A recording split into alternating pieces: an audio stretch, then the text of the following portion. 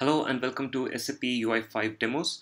In the previous demo, I showed you how to pass a parameter from one view to another view, but we didn't take advantage of the two-way data binding.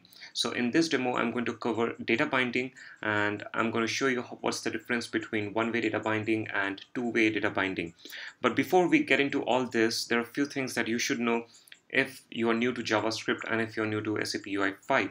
So there are a few areas where I think you should get confused and there are a few demos or few tutorials where people use var name is equal to something John. And in few cases they don't use var they just write name is equal to John. And in few places they use this dot name is equal to John. So what's the difference between all these three? So that's what we are going to cover right now. Uh, to do that I'm going to create a, a small function. Let's say get or set username. And this function is going to accept a parameter. And I am going to place that parameter inside this. I'm going to say var username is equal to para. Now very common function right? But the reason why I have used var over here is you won't be able to access this particular variable from outside this function. So the scope of this variable is only within this method. But if I remove var from here, I can access this variable from anywhere. It is in global scope. So this is the way I have initialized my variable and I'm directly passing parameter.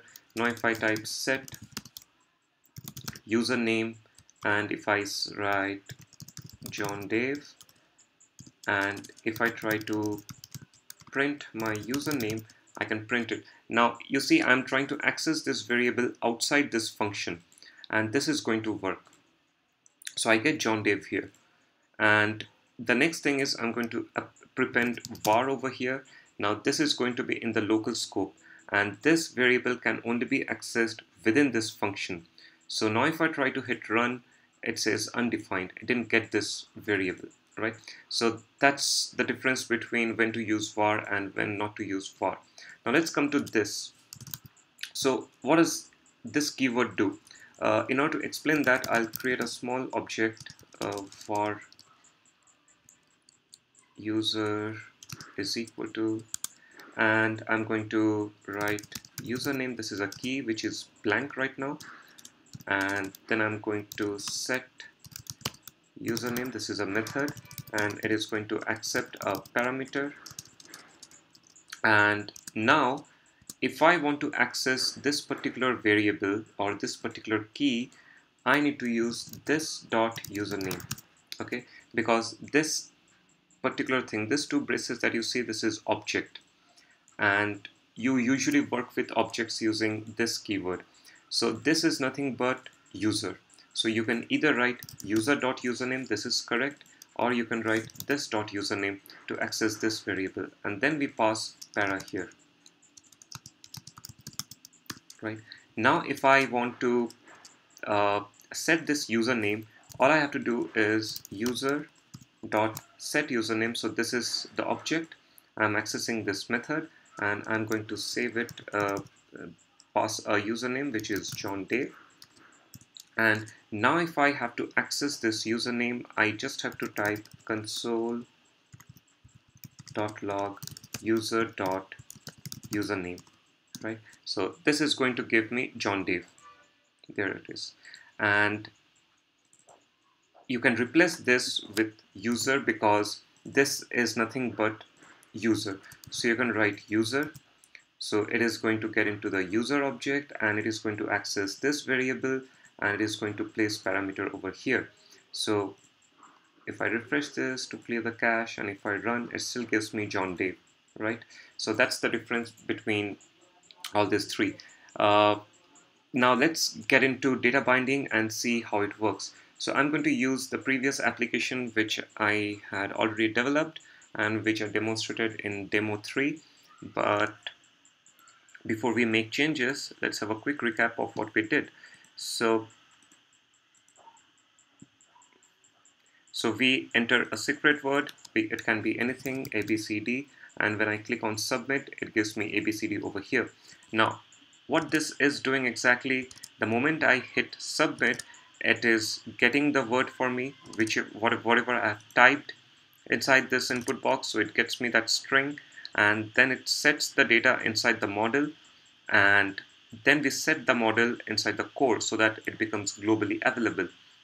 And any other views which are listening to this model or which are dependent on this model the model pushes the data from uh, the model to the view. So that is called two-way data binding right? Uh, to give a short note on one-way and two-way data binding uh, there are two things. Uh, let's start with one-way data binding so in one-way data binding we have the UI and let's say this is an input box and the UI is not going to push any data to the model automatically right? So we have to write our logic somewhere here and then it is going to push the data into our model and the model then automatically pushes this data to our view right? So the previous demo we used one-way binding.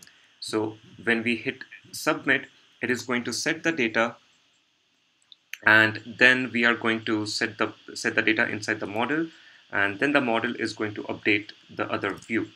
So the two-way binding does all these things automatically. So what is going to do we have the UI we have the input box and it is going to push all the data to the model the moment we start typing inside our input box and the model then is going to push those data into our view. So this is one way this is two-way binding right? The model can accept the changes automatically and it can push those changes back to the view. But in one-way binding the model is not able to accept the changes but it can push those changes to the view. So let's go ahead and create a two-way binding. So to do that, we are just going to cut this part of code and we are going to paste it on our onInit method. So the onInit method gets triggered when the application has rendered and when the UI elements are in place. And at that point this gets triggered. And this is going to get triggered only once, right? So what we are going to do here, we can remove this dot model because we are not accessing this model from anywhere. So we can initialize it with var and we can remove this from here. So once we have initialized the model using var we don't have to use var again because that will reset the model. It is going to initialize it again. So now we have some value with our model and we just pass that value here. We don't use var anywhere right? And so now we take my secret and we go to page one. And we had earlier hard-coded uh, value here. We are not going to do that at the moment. We are going to write my secret. So this is the way we bind this UI element with the model so the moment I start typing it is going to update the model. And the model in turn is going to update this particular view uh, the page 2 view and is going to update the text view. So when to change this from my model. And now if we go and preview this so the moment I write anything, let's say hello world, and I directly go to page two, I'm not going to hit submit, and you see hello world is written here. So it is everything is done automatically. All right, another word magic, and the magic is here. So what is this is two-way binding. So how do we turn this into one-way binding? What one-way binding is going to do, the moment I type something over here, it is not going to update anything over here. But if I change the model programmatically, it is going to reflect that data over here. So let's go ahead and remove var from here.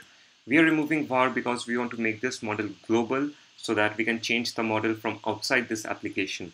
Okay, and we can remove, uh, we can copy this thing from here and we are going to set it. Uh, and one more thing, we have to say that my model is going to accept one-way binding. So we write that by using set default binding mode and we write here sap.ui.model dot binding mode dot one way right? So we have set our model to accept only one-way kind of uh, data passing. Now if I refresh this and I type anything over here and I go to page 2, it doesn't show me anything. Now the reason I had removed var from here was to make it accessible, to make it a global object so that I can access it from outside the application, right? So let's copy this part and let's get into our console and